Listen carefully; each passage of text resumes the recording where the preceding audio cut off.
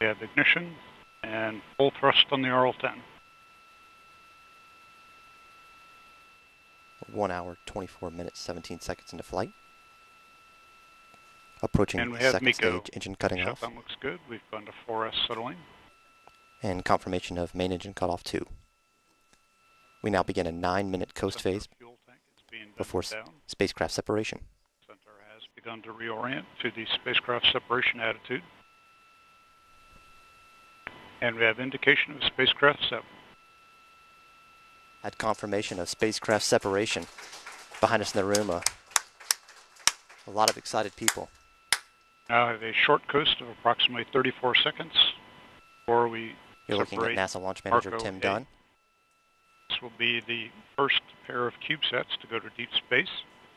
They carry radio, high gain antenna, and propulsion system with the goal to provide data relay to the Earth from the entry, descent, and landing phase of the InSight mission.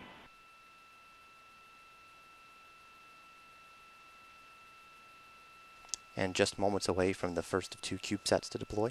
And we have the first MarCO A spacecraft separation. Centaur is now spinning up. First half, of the 180 degree turn.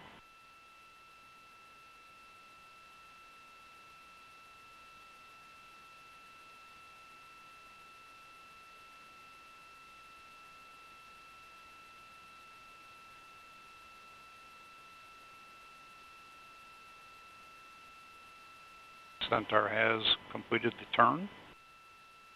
Now in an attitude hold for spacecraft separation.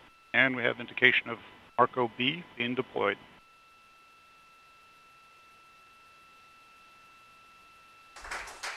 And the second of two CubeSats has been deployed.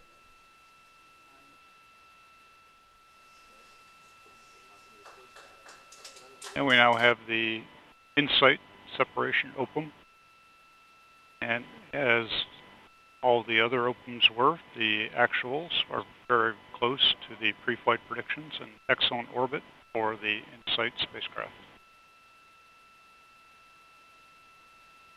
With that, this completes the plus count commentary for the AV-78 InSight mission.